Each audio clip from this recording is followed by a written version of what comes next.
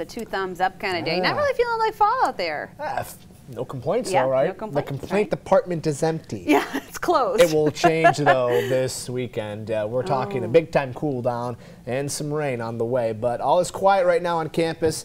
Clear skies each day. That sun setting a little bit earlier, so this picture gets a little bit more uh, interesting or colorful every night. We'll see how it changes here over the coming days. 65 on campus right now. A pair of sixes in Lansing and in Jackson. 61 Hillsdale. 64s from Howell through Ann Arbor, Adrian, as well as Ionia. 65 in Charlotte. 65 also in Marshall. Across the region, all is quiet with still the influence of that high pressure system dominating our weather, but it's shifting off to the east. Taking its place is a cold front that's still out in parts of the Dakotas and the Rockies. That cold front will slide through come Friday, bringing us some rain. So even though there's some rain in parts of Iowa, I think it holds off until Friday. So tomorrow should be a nice day. But Friday, yeah, that will change. Let's get right to your Friday forecast. You'll see waking up at 7 a.m. Clouds on the increase. Rain just off to the west of us, but yeah, we could see a few showers for the first half of your Friday. I really think the better chance for that more impactful weather comes later in the day. We'll stop the clock here at 5 p.m., 6 p.m. You can see a few showers out there, but the front itself is still out to the west. And then it's that front that will give us the best chance for some heavier rain, maybe even for some thunderstorms as well. That comes in closer to uh, the midnight hour, right? That's when we'll see some showers, maybe a few thunderstorms.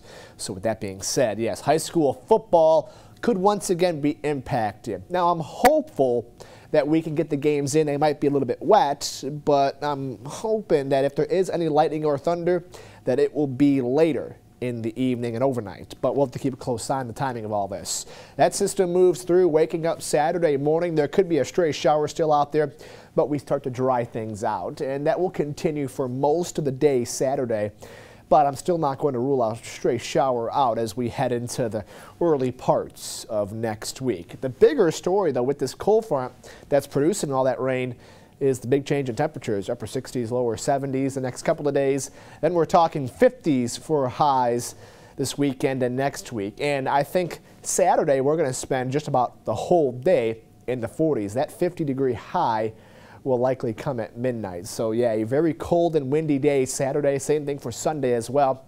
And then we do see temperatures stay pretty steady next week with some more rain in the forecast.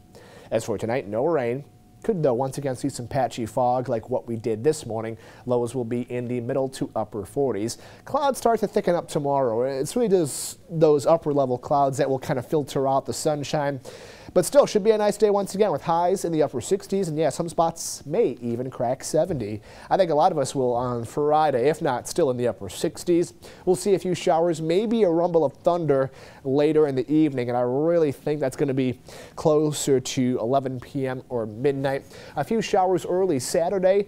I'm not going to rule out a stray shower Sunday or Monday, but the better chance for rain Tuesday into Wednesday of next week. I, I look at that forecast. I see all the fives. I don't like it. yeah, well, it's bedtime. It's fall. You know? It's fall. Yeah, definitely. Brett, thank you.